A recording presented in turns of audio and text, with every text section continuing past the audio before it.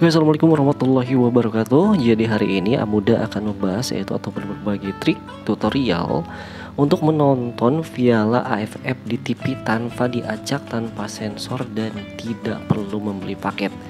Kalian yang harus siapkan dulu adalah TV Android yang sudah support internet, maka kita tinggal download yang namanya aplikasi RCTI Plus usahakan TV kalian harus Android TV dulu ya, harus support TV Android. Nah, kita cari saja di sini RCTI Plus. Nah, kalau udah ada seperti ini, kita langsung klik aja pada remote. Lalu ada tulisan install, maka selanjutnya kita install aplikasi tersebut agar muncul di TV Android yang kita punya.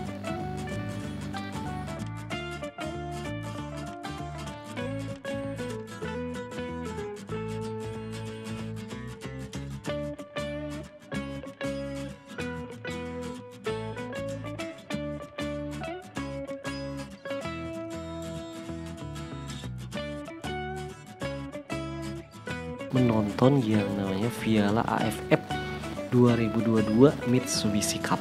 Jadi tanpa kita harus beli paket dulu. Nah, kita buka aplikasi RCTI Plus-nya. Kita loading ini hampir tampilannya itu hampir sama dengan video ya, aplikasi video streaming. Nah, kalau RCTI Plus kan pasti ini yang diputarnya itu MNC Group, sementara untuk video kan MTech Group kayak Indosiar dan SCTP seperti Piala Dunia kemarin. Nah, ini bentuk aplikasinya yang kita download yang kita install di TV Android. Nah, nanti akan ada kolom pencarian seperti ini. Kita cari aja untuk Viala AFF hari ini. Tapi kalau kalau untuk pertandingan misalkan Indonesia main pasti akan muncul di dashboard yang sudah hadir pada aplikasi tersebut. Nah, saya coba contohkan di mana saya akan menuliskan yaitu pencarian Viala AFF dan pada pencarian muncul seperti ini ya. Ada AFF no, sudah muncul yang AFF AFF Mitsubishi Electric Cup ya 2022. Nah, kalau ini diklik ini biasanya munculnya itu highlight highlight pertandingan. Tapi kalau misalkan Indonesia atau timnas main pasti akan muncul pada dashboard aplikasi RCTI Plus tersebut. Nah, inilah penampakan untuk pertandingan AFF Mitsubishi Electric Cup ya.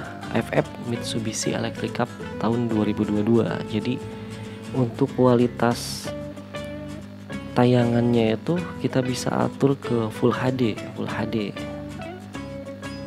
1080 kita bisa setting. Lah kalau sering nonton streaming di video hampir sama di aplikasinya. Kita nontonnya itu di aplikasi RCTI Plus gratis tanpa sensor tidak perlu membeli paket. Oke selamat mencoba bagi kamu semuanya.